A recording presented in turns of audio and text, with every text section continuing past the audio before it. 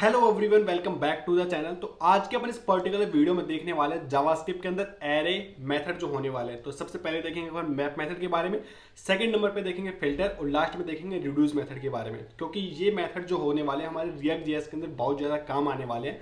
तो अपन इन मेथड को कवर करेंगे और आने वाले टाइम में मैं कंप्लीट सीरीज़ लेके आने वाला हूँ रिएक्ट जेएस पे ओके तो बिना देर क्यों करते हैं आज के वीडियो को स्टार्ट तो उसके लिए मैं यहाँ पे क्या करता हूँ, एक ऑनलाइन एडिटर में आ जाता हूँ ओके लेकिन हाँ वीडियो स्टार्ट करने से पहले मैं आपको एक चीज़ और बताना चाहूँगा कि मैं देख रहा हूँ, बहुत कम लोगों ने मेरे चैनल को सब्सक्राइब कर रखा है। अगर आपको मेरा कंटेंट हेल्पफुल लगता है तो सब्सक्राइब ज़रूर कीजिएगा, जिससे आप मैं वीडियो अपलोड करूँ तो आप उसको मिस ना कर पाओ ओके तो अब आते हैं टॉपिक पे। तो सबसे पहले देखने वाले हैं अपन मैप मेथड के बारे में। तो तीन मेथड देखेंगे। सबसे पहले देखेंगे मैप उसके बाद देखेंगे फ़िल्टर उसके बाद अपन देखने वाले हैं रिड्यूस मेथड के बारे में ओके तो सबसे पहले अपन एक एरे लेते हैं ओके अपन कोई भी एरे ले लेते हैं इस तरीके से। और वन टू थ्री इसके अंदर कुछ भी एलिमेंट ऐड कर देते हैं। तो सबसे पहले मैप मेथड क्या करेगा? इस एरे को लेगा। अब मैप मेथड के अंदर क्या होगा? एक कॉलवे फ़ंक्शन होगा। कॉलवे फ़ंक्शन क्या क्या चीज़ें लेगा? एक हमारा लेगा वैल्यू लेगा, जो भी हमारे इस एलिमेंट की वैल्यू होगी, जिस एरे की एलिमेंट की वैल्यू होगी, और इसका इंडेक्स ओके हर एक एरे एलिमेंट के लिए आइट्रेट करेगा, और हर एक वैल्यू को रिटर्न करता रहेगा। अब ये किस तरीके से करेगा? अब ये चीज़ समझते हैं। तो मान लीजिए ये मेरा एरे है, और इस पर मैं क्या ऐड कर रहा हूँ? मैप मैथड मैप मेथड क्या लेगा? एक कॉलवे फ़ंक्शन लेगा।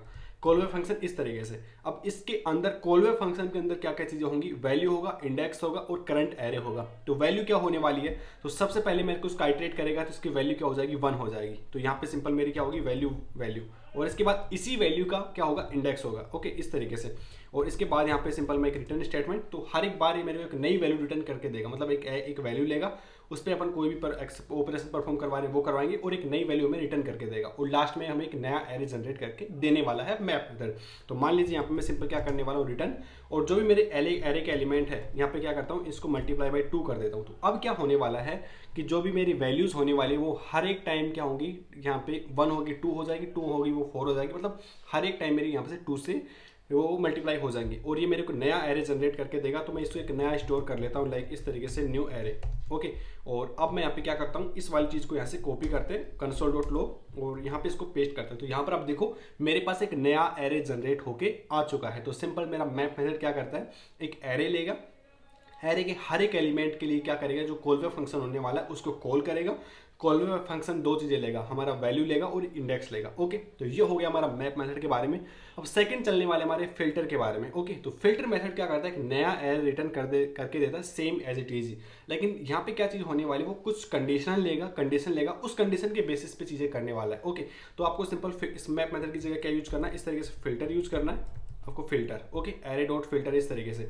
अब इसके अंदर क्या चीज़ें होने वाली है? इसके अंदर मेरे पास कुछ यहाँ पे कंडीशन अपन ऐड करेंगे। तो मान लीजिए जो मेरा वैल्यू होने वाला है, अगर वो थ्री से बड़ा है, तभी यहाँ पे मैं रिटर्न करवाने वाला हूँ सिंपल तो यहाँ पर आप देखो मेरे पास कौन से एलिमेंट आएँगे? मेरे पास फोर एंड फाइव आने वाले तो सबसे पहले मेरा क्या होगा? वन पे आएगा। तो ये कंडीशन चेक करेगा कि मेरी वैल्यू जो थ्री से बड़ी है या नहीं। तो वन भी बड़ी नहीं है टू भी बढ़ानी है, थ्री भी बढ़ानी है ओके तो इनको क्या कर देगा? डिस्कार्ड कर देगा और जो मेरे फोर एंड फाइव है, वो एक मेरा नया एरे जनरेट होके आ जाएगा। तो यहाँ पर मैं आपको शो करूँ कि मैं जो मेरा पहले वाला एरे है, वो क्या है और जो मेरा नया जनरेट होके आया है, वो क्या है। तो यहाँ पर आप देखो, इस इस न्यू एरे की जगह यहाँ पर मैं क्या सिंपल एड ऐड कर देता हूँ इस तरीके से एरे तो मेरा पहले वाला एरे क्या हो गया? वन टू थ्री फोर और जो मेरा लास्ट में आया था, वो क्या हो गया? Four and five. तो ये हो गया हमारा फ़िल्टर मेथड के बारे में। तो फ़िल्टर मेथड से अपन क्या कर सकते हैं? इस तरीके से चीज़ों को अपन फ़िल्टर आउट कर सकते हैं। यहाँ पर आपको एक प्रॉपर एग्जांपल बता दिया। तो ये अपन यहाँ पे बेसिकली कहाँ पे यूज़ करेंगे इसको? तो मान लीजिए अगर आप रिएक्ट एप्लीकेशन बना रहे हैं टू डू लिस्ट बना रहे हैं ओके और उसमें अपन क्या होगा? एलिमेंट को रिमूव करने का हो गया। तो जैसे अपन डिलीट बटन पे क्लिक करेंगे तो वो रिमूव हो जाएँगे। तो हमारे पास एक एरे होगा। हमें, हमारे पास टू डूज का एरे होगा, उस पर क्लिक करेंगे तो वो रिमूव होता जाएगा। तो वहाँ पे अपन यूज़ करने वाले हैं फ़िल्टर मेथड का। ओके अब लास्ट में अपन यूज़ करने वाले हैं किसके बारे में देखने वाले हैं? वो देखने वाले अपन रिड्यूज मेथड के बारे में। ओके तो रिड्यूज मेथड के अंदर एक चीज़ एक्स्ट्रा होने वाली है। वो मैं आपको बताता हूँ कि क्या चीज़ एक्स्ट्रा होने वाली है। तो मान लीजिए मेरे पास एक एरे होने वाला है। ये एरे होगा, इस पर अपन रिड्यूस मेथड अप्लाई करेंगे। ओके अभी दो चीज़ें लेगा बेसिकली एक कॉलबैक फ़ंक्शन लेगा और एक इनिशियली वैल्यू ले रहा होगा, ठीक है? अब कॉलबैक फ़ंक्शन के अंदर क्या क्या चीज़ें होंगी? इसके अंदर हमारे पास दो तीन चीज़ें एक्स्ट्रा होने वाली है। सबसे पहले इसके अंदर होगा एक्यूमुलेटर होने वाला है ओके एक्यूमुलेटर का मतलब क्या होने वाला है? मतलब हमारे प्रीवियस रिज़ल्ट जो आया है, उसकी वैल्यू होने वाली है। तो यहाँ पे क्या करते हैं, सबसे पहले इस तरीके से कॉलबैक फ़ंक्शन बनाते हैं और इसके अंदर इनिशियली वैल्यू सेट करते हैं। मान लीजिए यहाँ पे ज़ीरो सेट करते हैं ओके और अब मैं यहाँ पे क्या कर रहा हूँ कि जो भी मेरे एलिमेंट्स जो होने वाले हैं, इनका अपन सम फाइंड करना चाह रहे हैं। तो सबसे पहले के नंबर की क्या चीज़ आएगी? मेरा एक्यूमुलेटर इसके अंदर आने वाला है ओके इसके बाद क्या होगा मेरी करंट वैल्यू करंट वैल्यू क्या होने वाली है इस तरीके से? यहाँ पे मैं करंट वैल्यू ऐड कर देता हूँ करंट वैल्यू और जो इस करंट वैल्यू का इंडेक्स होगा, वो इस तरीके से ओके तो अपन इंडेक्स को अभी यूज़ नहीं करें सिंपल इस तरीके से रखते हैं। अब यहाँ पे अपन क्या करते हैं, यहाँ से रिटर्न करवाते हैं इस तरीके से।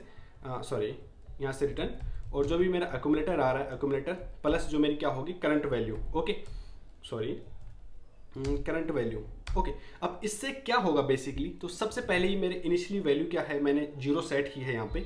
इसके बाद यहाँ पे मेरे, यहाँ पे ऐड हो जाएगा। अकोमोडेटर क्या हो जाएगा मेरा? ज़ीरो होगा। अब करंट वैल्यू क्या है? वन अब यहाँ से रिटर्न क्या हो जाएगा? वन ठीक है अब मेरा अकोमोडेटर अपडेट हो जाएगा। अब उसके अकोमोडेटर की वैल्यू तो क्या हो जाएगी? वन हो जाएगी।